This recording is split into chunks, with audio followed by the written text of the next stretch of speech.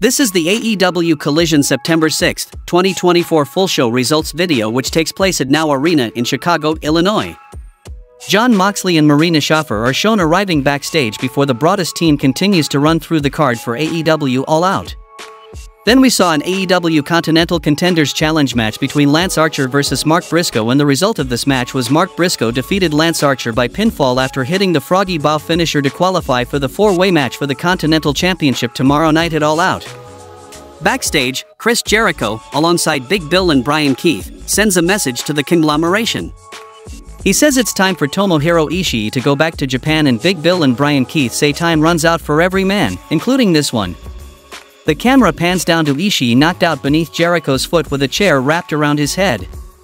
The next match happened between Grizzled Young Veterans versus Iron Savages, and the result of this match was Grizzled Young Veterans defeated Iron Savages after hitting the Grit Your Teeth finisher. FTR hits the ring afterward and a brawl erupts and the Grizzled Young Vets barely escape just as FTR is about to catch them to hit the Shatter Machine. Jack Jameson raised FTR's hands in celebration, but they hit him with the Shatter Machine instead. Orange Cassidy cuts a promo on Bryan Keith, saying he's going to get revenge for Ishii. Then tomorrow he's going to win the Continental title and put it in his backpack along with the $7,000 in cash. The next match happened between Orange Cassidy versus Bryan Keith, and the result of this match was Orange Cassidy defeated Bryan Keith by pinfall when Orange followed up by flying off the top rope and catching Bryan in a DDT on the landing for the three count and qualify for the four-way match for the Continental Championship tomorrow night at All Out. Chris Jericho is backstage and he steals Orange Cassidy's backpack and says he's keeping it until Orange pays him back the $7,000. Mercedes Moné cuts a promo on Hikaru Shida. She says Kamille may be banned at All Out, but she's not banned tonight. Keep watching and you'll find out what happens when you mess with Mercedes Moné.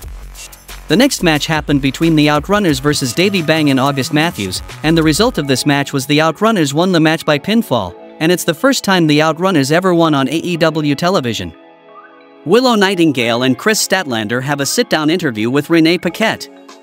Statlander says when she was TBS champion, she gave Willow a shot, but Willow didn't reciprocate when she had the strap and Willow vows to make Statlander pay for her betrayal in their street fight.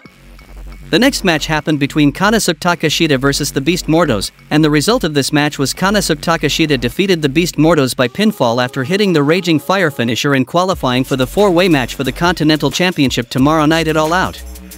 Backstage, Saraya, alongside Harley Cameron, calls out Jamie Hayter and makes it clear she's frustrated that Hayter ruined her moment at AEW All In.